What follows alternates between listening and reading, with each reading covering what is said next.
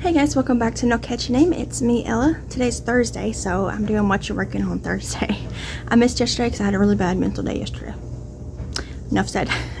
Mama needed a break. But anyways, I am working on an, what is this called?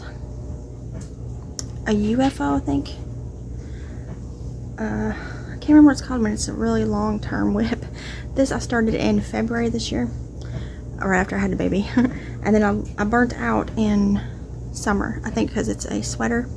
And I just, you know, burnt out on making it because it was warm.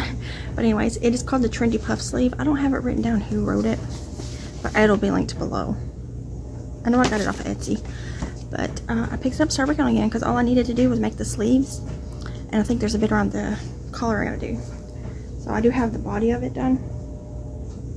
Front and back. And then I did start one of the sleeves. They are puffy sleeves, so it's a huge circle. and then they're gonna be puffy, you know, hence the name puff sleeves. but, uh, so I'm using this worsted weight yarn. This is Red Heart Super Saver Retro Stripe. And um, I'm using a K-hook, which is a 6.5 yeah, millimeter. so I got that much done and I ran out of yarn. So I got another scrap ball of this yarn. This right here's two scrap balls of it. And then I'm going to put the other scrap ball in there and then I, I have two full hanks. So I'm hoping that's enough. I mean skeins to make both sleeves. We'll see. but uh, I'm just going to go with it and see what happens. But the lighting's kind of bad because I'm in the living room. I didn't get my tripod. June's asleep. Laundry, dishwasher going. Devin went to run an errand with Jesse. So I'm just taking a moment to record. but uh, I'll link this pattern below if you want to check it out. That's what I'm working on this Thursday. So what are you guys working on? Let me know in the comments. Feel free to share pattern links, uh, channels, anything like that.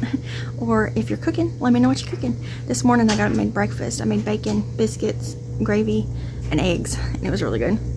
Um, but yeah, so I don't know what I'm to do for dinner tonight. I haven't thought about that. I probably should. but it'll probably be something simple because I don't have any meat thought out.